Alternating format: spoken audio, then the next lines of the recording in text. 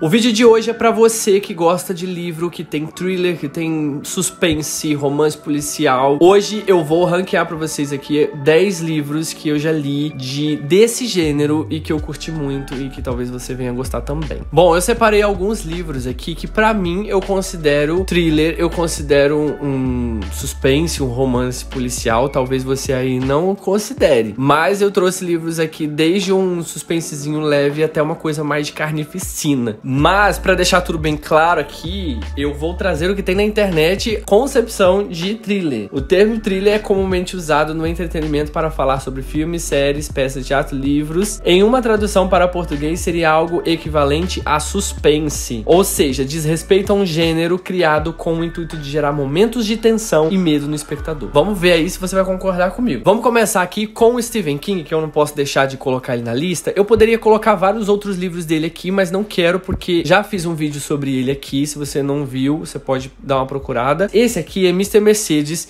É um thriller, é uma coisa de um mistério assim de serial killer, sabe? A história de um serial killer que comete umas atrocidades aí é meio que é perseguido por um detetive, pela polícia que tá assim, querendo muito pegar ele e nunca consegue, e ele acaba se divertindo muito com isso, ele acaba sentindo prazer. A história é muito contada com os detalhes da vida dele, você começa a conhecer muito o cara.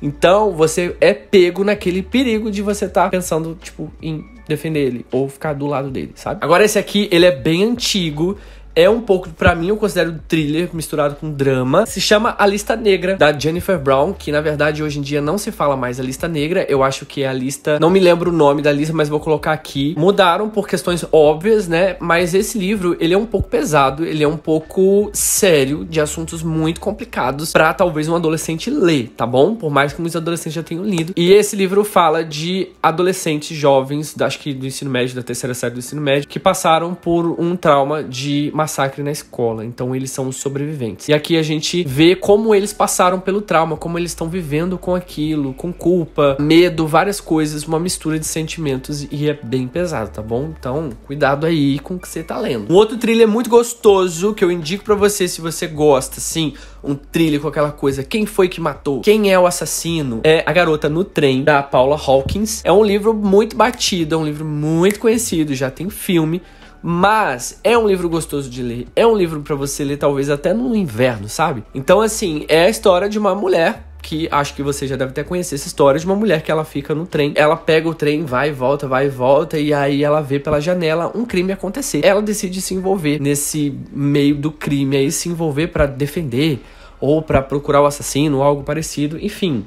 E ela se dá muito mal. Mas é tanta reviravolta nessa, nessa história. Você fica tentando saber quem foi o assassino. E eu não vou mais adiante que eu posso soltar um spoiler. Outro thriller, um pouquinho mais pesado. Por isso que eu tô falando, toma cuidado. Um pouquinho mais pesado. É esse aqui, do Rafael, Di, Rafael Montes. Dias Perfeitos. Um livro brasileiro com cenas acontecendo no Rio de Janeiro, em Petrópolis, aqui perto. Eu acho que é um dos melhores livros do Rafael Montes. Eu acho que foi o primeiro que ele escreveu. Excelente. Não, acho que ele é o segundo é excelente, conta a história de um estudante de medicina que se apaixona por uma garota da UERJ e ele se apaixona de uma maneira muito louca e ele é um psicopata, né? E aí ele leva ela para um lugar lá em Petrópolis para viver os dias perfeitos entre eles e muita coisa louca acaba acontecendo porque é relacionamentos, né, gente? Tem aquela briga, tem um momento de ah, eu quero terminar, não quero terminar. E só que ele não quer terminar, sabe? Ele não quer viver sem ela. E aí ele vai até o fundo do poço pra não ficar sem ela. Pesado, tá bom? Você aí, da sua idade, cuidado. Outro livro aí de, ai, quem é o assassino? Quem será que matou? É esse aqui que é muito bom, eu sempre indico, Objetos Cortantes, da Gillian Flynn. É um romance policial, é um suspense policial que conta a história de uma jornalista que já teve vários problemas psicológicos, que ela se cortava, ela se autoflagelava por questões do passado dela. E ela sofria muito com isso, tomava muitos remédios. E aí calhou que ela foi escalada para cobrir um assassinato de um serial killer que tava lá na cidade cidade natal dela, lugar onde ela tinha vários problemas psicológicos, lembranças horríveis, traumas. Ela teve que ir lá para cobrir todo a, a, a, procura do assassino juntamente com alguns policiais. E aí ela fica do lado de um policial nessa investigativa aí, nessa investigação para tentar descobrir por que que crianças estão morrendo e perdendo os dentes, encontrada morta sem os dentes. Ah, uma coisa bem macabra. Mas assim, você acaba se apegando um pouco à vida dela, você se compadece um pouco da vida da personagem. Você quer saber quem é o assassino, tem toda uma, uma doideira aí. Outro livro do Rafael Montes, esse aqui é Uma Mulher no Escuro. Foi um dos livros que eu menos gostei do, dele, mas talvez valha a pena você ler. Não sei explicar, mas ele não é, foi tão pesado quanto os outros que eu li.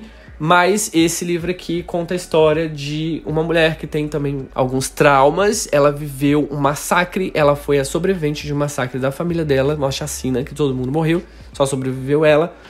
E parece que o assassino ele está de volta e ela não sabe como lidar com isso. Outro do Rafael Montes, um livro nacional. Esse aqui é extremamente pesado, eu acho que é para maiores de 18, se chama Suicidas.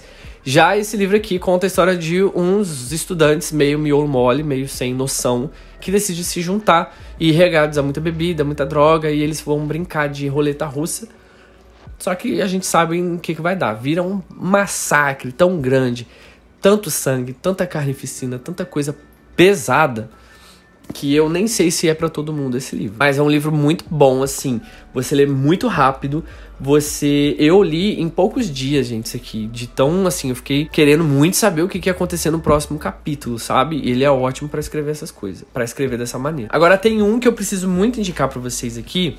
Que é um livro recente que eu li Inclusive vai ter vídeo aí mais pra frente, que já tá gravado, mas que vocês vão gostar muito, talvez, que, que é desse livro aqui, como se, como se fôssemos vilões, da M.L. Real. Gente, que livro bom! É um thriller muito bom. É aquela coisa de quem é o assassino, quem matou fulano, sabe? Mas é uma vibe muito boa, eu acho. Tem toda aquela estética, né, de estudante. É um livro que lembra muito o Sociedade dos Poetas Mortos. Então é um grupo de estudantes de teatro. Acontece um crime, você vai lendo e tentando descobrir como que esse crime foi ocorrido. No início do livro já, já é falado desse crime, já é falado quem foi preso. Então você já começa a ler e saber por que que essa pessoa foi presa. Só que as coisas não batem. Por que que essa pessoa cometeu esse crime? Você quer ir até o final do livro para saber como que as coisas se ligam, como que essa pessoa cometeu esse crime, porque eu gostei muito, de verdade, uma das melhores leituras desse ano. Continuando com uma das melhores leituras desse ano, eu não posso deixar de falar de Vilão, que também é quase essa mesma vibe. É um thriller misturado com ficção científica, é uma coisa meio dark academia, e também é de dois estudantes que estão fazendo medicina e eles estão fazendo um TCC. E para esse TCC eles estão querendo fazer algo muito especial, que é falar sobre a experiência quase morte e que é aquela quando a pessoa morre, sabe? Morre não, ela sofre uma parada cardíaca, acontece alguma coisa no hospital, ou um, algum acidente em que a pessoa, o coração para por um tempo e depois ela é revi revivida. Eles têm uma teoria de que pessoas que passam por isso, elas, quando elas retornam, quando o coração volta a bater, elas têm algum superpoder. Então, é muito interessante isso aqui, porque o desenrolar da história você nem imagina. Tem toda aquela coisa de ir no passado, pro presente, você já sabe que um deles também já cometeu um crime, e aí você fica tentando saber por que que cometeu o crime. Porque logo de início, gente, a primeira página já fala, a cena já é, é o cara lá cavando um túmulo para tentar tirar um corpo que tá enterrado de uma pessoa que morreu. Não vou dar spoiler, vou tomar cuidado com isso.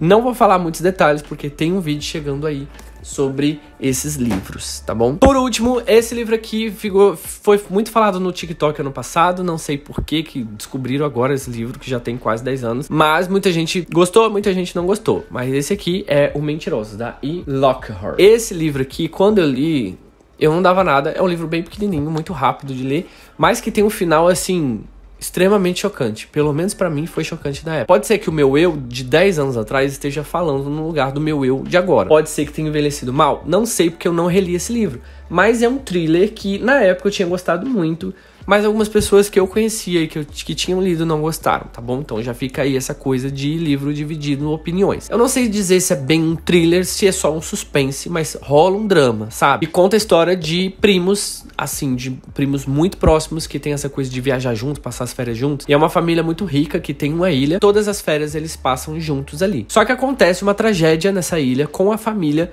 e a personagem principal não se lembra do que foi que aconteceu né? E aí ela retorna ali depois de um tratamento que ela tá fazendo com psicólogo e tal. Ela retorna à ilha, ficar com os primos, né? Ela sabe que aconteceu alguma coisa, mas não sabe exatamente o que foi. E muitas coisas acabam acontecendo. Tem um plot twist muito absurdo no final desse livro. Você não tem noção. Inclusive, quero fazer um, um vídeo sobre livros com plot twist, que tem bastante, tá? Se você é adolescente, até pra uma pessoa mais adulta, é interessante ler, é bem melancólico, tá? Já vou falando que é um livro muito melancólico. Não entendo porque divide opiniões, porque eu não achei um livro ruim. Esses aqui foram os livros que eu indiquei para você.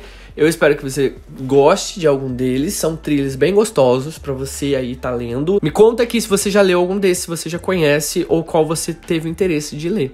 E a gente vai conversando mais aqui, beleza? Não se esquece de se inscrever no canal. Me procura lá no Instagram, me segue lá também, compartilhe outras leituras. Eu vou ficando por aqui e a gente se vê no próximo vídeo.